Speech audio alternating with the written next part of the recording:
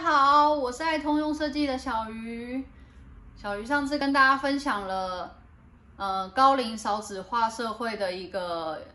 社会问题，就是劳动力人口严重不足。那这个部分其实上次也有讲到，这个可以解决的两个方向，一个是我们就在现有人口中看哪些对象还可以成为劳动力人口，像是。中高龄者，还有已婚妇女跟生障者。那在第二个部分，就是我们可以把想办法透过可能是科技或者是机器人等等这个部分去做提升每个单位的这个劳动力的这个产能。好，所以你会发现这两个方向，如果我们去做努力的话，那还有什么东西要配合呢？当然，我们的工作环境喽，就是如果你要让这个生障者、中高龄者都可以顺利在职场上发挥的话，那我们就要必须要去让我们的工作环境更友善。那除了工作环境更友善之外，其实还有很多就是呃，职务再设计的内容，其实都可以再去做一些辅助。好，这部分的加强呢，其实我们可以从三个面向去着手。第一个就是雇主和身障中高龄者的相互了解。如果我们让雇主更了解身障者，更了解中高龄者，那他这个禁用的意愿可能就会提升。然后他会知道，其实呃禁用身障者跟中高龄者可能是有一些好处的啊，比如说他的整个公司可能会因此大家的工作效率会提升。然后这个整个工作环境会变成更友善，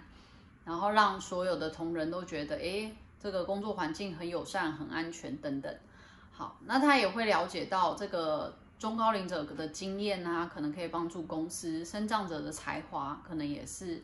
会被看见，而不是就是忧心其他的部分。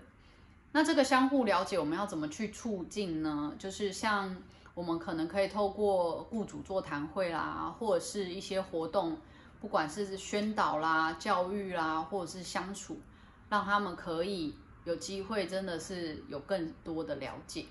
那第二个面向呢，就是我们其实可以扩大职务再设计的对象跟效益。好，这个可以分两个部分来谈。第一个就是所谓的对象跟效益，如果我们禁用一位生障者。那他过一阵子如果离职之后，我们可能可以禁用中高龄者。那你会发现，哎，如果这个生长者职务再设计也可以沿用，让这个中高龄者继续使用的话，也有帮助的话，那其实就是一个扩大对象跟效益。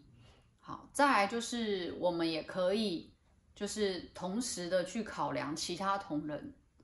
也就是说，我们禁用一位生长者的时候，我们不要把其他同仁的工作负担加重，不要让他去做一些前置作业啦，或者是不要让他跟身障同仁之间，就是他好像可能要花很多时间去带着他、陪着他之类的，可能可以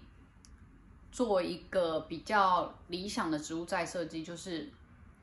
不会干扰到其他同仁的。那这样对身障者的这个。工作上的这个人际关系，还有其他同仁对这个呃新进员工也不会有一些其他不愉快的这个情绪，好，所以测也蛮重要的。那第三个面向呢，就是我们其实可以采用多感官的工作形式或辅具。好，这是指什么呢？如果我们今天希望在禁用生障者或中高龄者比较没有任何的这个。顾虑的话，那当然我们的工作环境就是要友善。我们的很多工作上的操作啊，不管机台操作还是工作的一些呃资讯的传递，最好都是要有多感官的形式。这样不管我们禁用视障者还是听障者，都不会有这种呃